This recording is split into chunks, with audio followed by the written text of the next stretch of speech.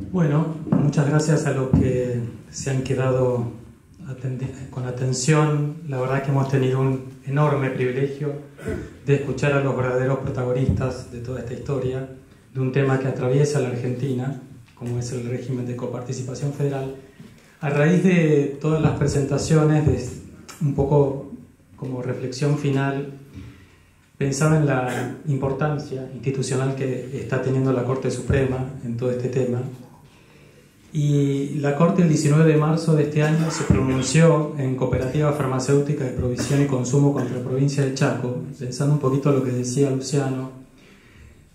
Eh, hay verdaderos eh, héroes en todo esto, como esta cooperativa farmacéutica. Tuvo que recorrer la primera instancia en la provincia de Chaco, la Cámara de Apelaciones, el Superior Tribunal de Justicia de Chaco, interponer recurso extraordinario llegar en queja a la Corte Suprema para que la Corte ejerciera el poder que la Constitución le da para ponerle un límite a las provincias, en este caso a la provincia de Chaco, que había decidido tergiversar una definición, y esto es importante también tenerlo en cuenta, el régimen de coparticipación federal le pone las características esenciales a los impuestos locales, como es el impuesto sobre los ingresos brutos.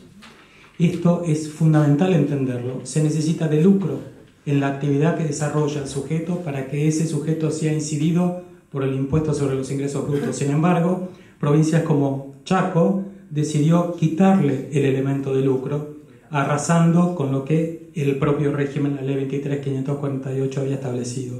Más aún, el consenso fiscal de 2021 también había eliminado el requisito de lucro. Vale decir que estamos por encima de las leyes locales, de los consensos incluso entre las provincias y la ciudad, autónoma. Yo recordaba y quiero mencionar un segundito a Enrique Buligoni, que ha sido gran amigo de la casa, un, él, especialista que hemos tenido por lo menos en siglo XX y recientemente fallecido, él decía, la ley de coparticipación es una norma de jerarquía innegablemente superior y prevalente. Esta fortaleza normativa Creo que tenemos el deber, todos nosotros, tanto ciudadanos como por cierto legisladores, de cuidarla. Hay mucho trabajo en los gobernantes, en ustedes.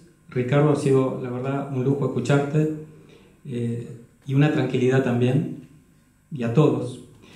Ahora, eh, ese respeto por el régimen nos lleva a que se defienda también lo que decía Antonio Hernández, ¿no? la institucionalidad, la educación cívica me quedé con ese concepto que también la verdad que me parece muy valioso. La certidumbre, la seguridad jurídica, el respeto a la legalidad de la que hablaba, eh, del que hablaba Ricardo, es la única manera de lograr un país más equitativo y próspero. Creo que todos coincidimos en que ya es hora. Ya es hora. Muchas gracias.